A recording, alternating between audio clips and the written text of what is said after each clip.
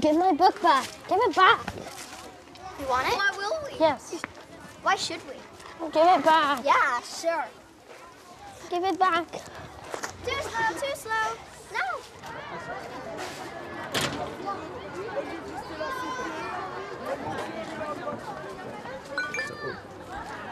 Hey, dude, check this out.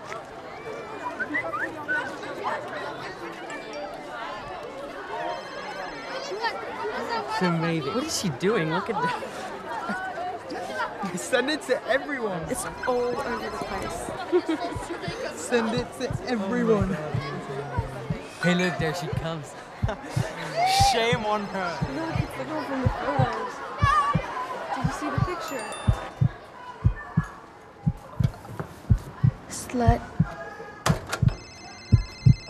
Such nice books you No, have. no, don't. Don't that. Don't do that. No, Oh, don't worry. I'm only gonna dump them on the floor. no. No. So, want it? I hope that really hurt.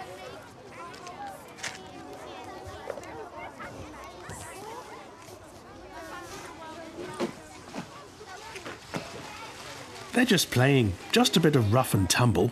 Kids will be kids. A boy wouldn't want a girl to help him. Children have to learn to defend themselves. Being bullied never did me any harm. 13% of 11 year olds and 12% of 13 year olds report being bullied at least twice a month. Large scale surveys around the world report 6 to 27% of children have been bullied. 78% of those replying to a Council of Europe survey said they'd encountered online hate speech, 2012.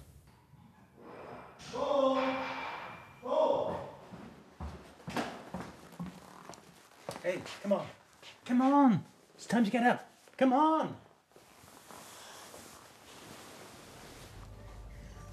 Dad? You know, Dad, I want. Shh, not now. I'm busy.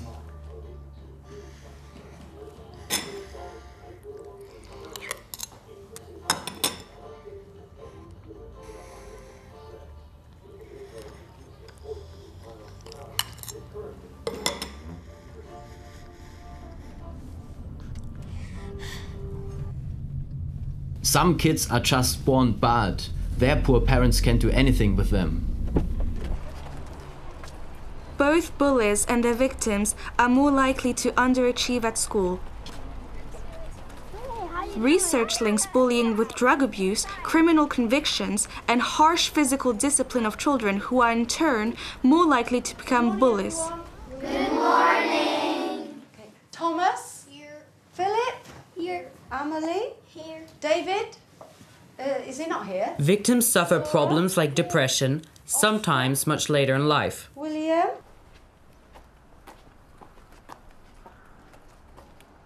Bye, Marie. Have a good day at school.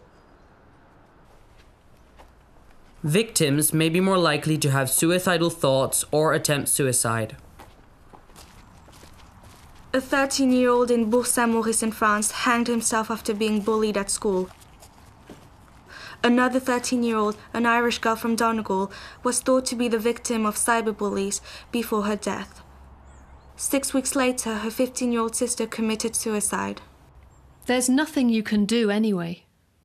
There is something that can be done, and something is being done, orchestrated by the Council of Europe in Strasbourg. What is needed is fundamental change, a new type of school culture based on human rights and democracy to banish bullying from schools for good. The Council of Europe has many tools to show you how to do just that, like its Charter to Combat Violence and Discrimination in Schools, especially bullying. Every year, the Council of Europe trains a thousand teachers across Europe in human rights and citizenship education.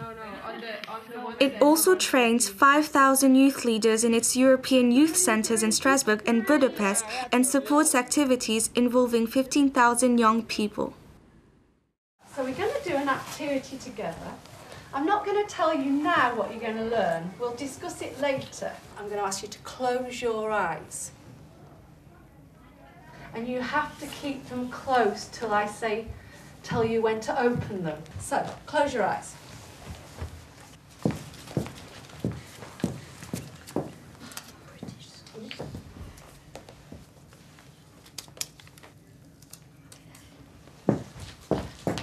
And your task is this you are going to form groups without speaking at all. Open your eyes, form your groups. This lesson raises awareness of the importance of not stigmatizing children who are in a minority or seen as different.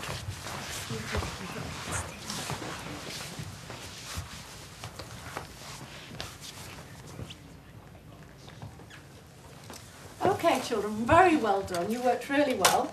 I want us to start to talk about what we just did. Why did you make the groups you made? When you put the stickers on, we understood that if we had to make groups, the stickers had to do with the groups. So the stickers kind of told us which groups we had to be in. You made an assumption actually that you had to group because you had a blue square or a red square or a yellow square or Paul Xavier with just the white square. What did you understand by their reactions? Well, I understood that I was white. Did you also understand no one else was white? Yeah. And what were you thinking about that? It's weird because everybody is in a big, quite a big group. So And, and where did you feel you could go? well, by myself somewhere else. Has anyone ever been in a real situation, not this classroom situation now, where they, and they would like to tell us how it feels or you think how someone would feel? A long time ago, nobody wanted to play with me because of my color of skin. Now, now it's really fine, but um, Why is it now fine? I, I try to explain that uh, how it is when you're rejected, and I found some people which are really nice to me and which don't mind my color of skin. Because they know you, the, the lovely person that you are. Yes, definitely. What difference do lessons make? Bullying will always go on. Yeah,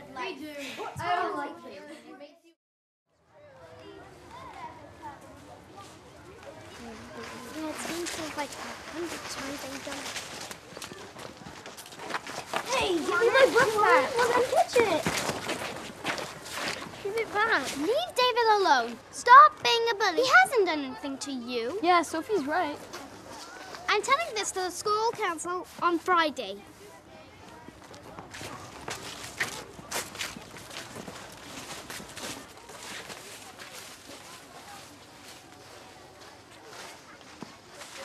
What is she doing? Look at that.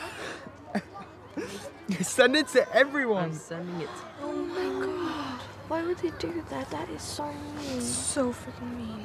Oh. Look, here she comes. Maya, look at this. Look, they've posted these photos. Oh no, look at what they've written underneath. Don't worry, we'll get them taken down. Our teacher warned us about this in classes today. Hey, Maria, you check your phone? This is pathetic. You'll be really sorry about this. Come on, guys, let's go.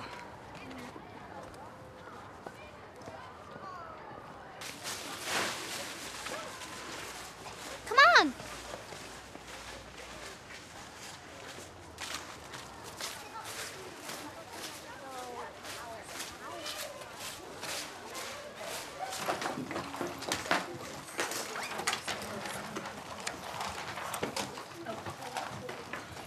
Everything is different because the silent majority have spoken out. They've spoken out because they know what they are supposed to do, how to do it, and why they are supposed to do it. They believe in what they are saying and doing because they have been involved in discussions on dealing with exclusion and bullying. Now, the bullies are the ones who are isolated, not the victims, and even the bullies might think again and change.